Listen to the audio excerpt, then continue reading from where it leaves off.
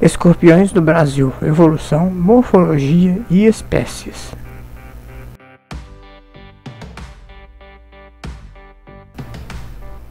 Origem e evolução dos escorpiões.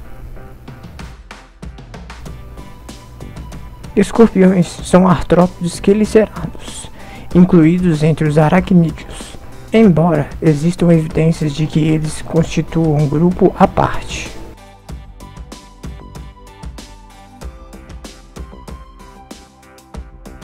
Eles têm uma origem aquática. Por muitas décadas foram considerados os organismos pioneiros na conquista do ambiente terrestre durante o período ciruliano.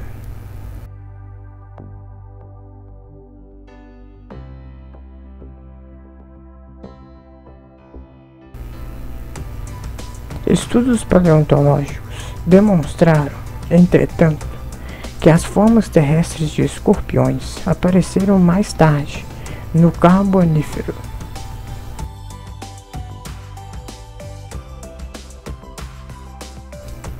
Como é provável que o processo de colonização terrestre tenha ocorrido através de diversas tentativas, os escorpiões provavelmente passaram por um período intermediário de vida anfíbia que vive na terra e na água, no decorrer de toda a sua história.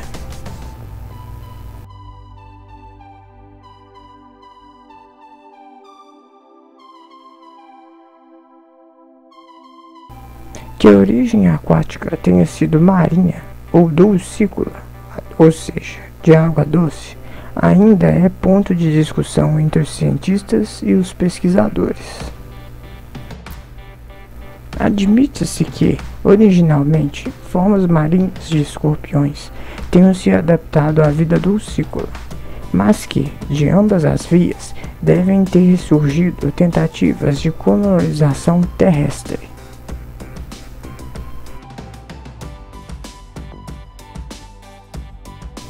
Escorpiões no Brasil Apesar de numerosos, os estudos sobre os escorpiões do Brasil, publicados nos últimos 15 anos, são parciais e não existe nenhuma síntese atualizada.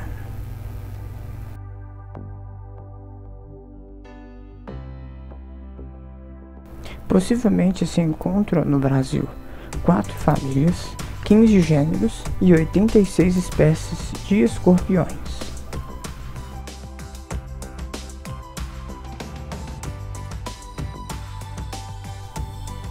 Morfologia dos escorpiões. Um escorpião é facilmente reconhecido por sua aparência característica.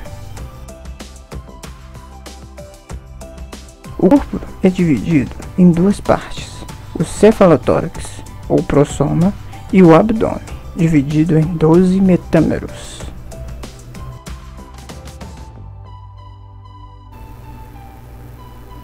Os sete primeiros metâmeros do abdômen formam o mesossoma, constituído por placas dorsais, chamadas terrígidos, e placas ventrais, chamadas estemitos. E os cinco restantes formam o metassoma, ou a cauda.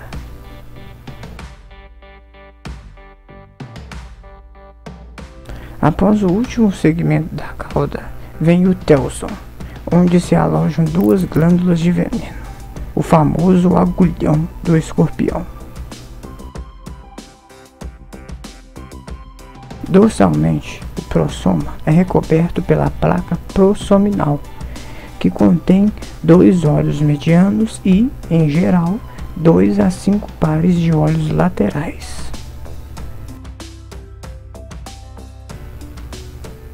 No prosoma, inserem-se lateralmente quatro pares de pernas.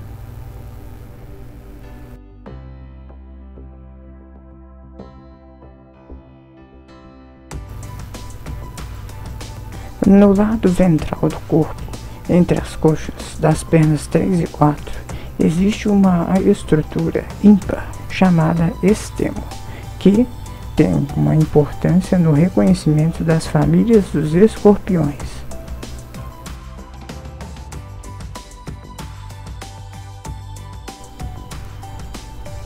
Os principais escorpiões causadores de acidentes no Brasil.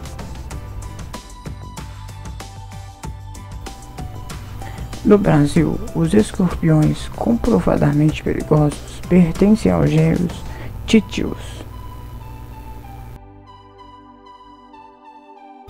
Embora ocorrem quase 30 espécies desse gênero no país, as responsáveis ou suspeitas de provocar casos de envenenamento a humanos restringem-se às seguintes espécies: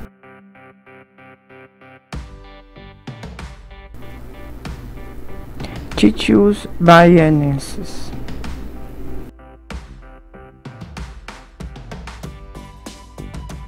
Titius costatus.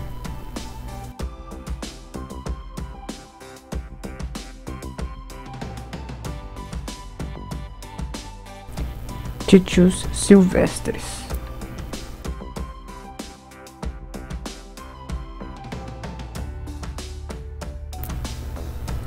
Se você gostou do vídeo e soube mais um pouco sobre os escorpiões do Brasil, não deixe de deixar aquele seu joinha, se inscrever no nosso canal e também ativar os sininhos para receber as notificações dos próximos vídeos.